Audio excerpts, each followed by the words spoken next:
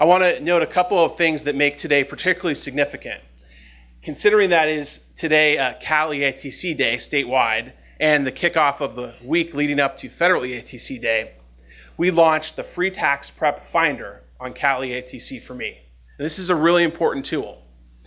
For low-income folks, there is free tax prep available, which can be on the order of a 200 to $300 value.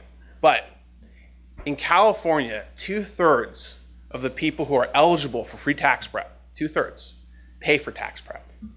That's on the order of $100 million a year that low-income people who are just scraping by to pay for food, rent, transportation, and clothes to their kids are wasting on something that they could otherwise get for free.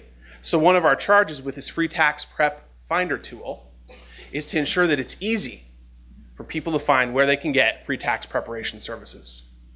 Thank you everyone for being here. I'd like to um, return back to a name I mentioned a few moments ago, Laura Tancredi Baese, the CEO of HomeStart. Uh, first of all, congratulations on your recent nuptials.